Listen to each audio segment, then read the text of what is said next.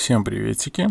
Я бы хотел показать вам пару полезных приложений для телефона, для редактирования фото и видео. Итак, это первое приложение для редактирования видео от Cyberlink Action Director. И в этом приложении очень удобно можно редактировать видео, все довольно-таки просто делается. Обрезается, наложаются эффекты. И видео, которое выходит из этого приложения, получается качественным. Это первое приложение, которое я хотел вам показать. Второе приложение тоже директор, тоже от Cyberlink, но уже фотодиректор. И оно тоже имеет очень много эффектов для редактирования фото. И еще одно приложение. Оно называется Photolab. Вот у меня даже история сохранена. Photolab.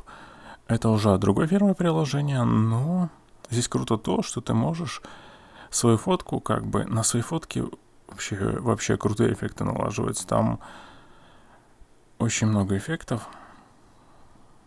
К примеру, вот фотка, видно, что по человеку идут там всякие линии можно сделать и типа, типа рисунком, вот как девушка такая рисованная стала. Много таких там всяких интересных штук. И такой типа, как их главное видео, что можно из обычной фотки сделать тоже такую типа рисованную. В общем, много, много таких интересных штук. Я этими приложениями пользовался. Всеми тремя. Но сейчас я решил освободить место на телефоне и удалил их ввиду того, что я в последнее время фотки, ну, редко обрабатываю. Но в свое время я ими часто пользовался и делал крутые эффекты. И в данный момент, удалив их, я делаю как бы и для себя.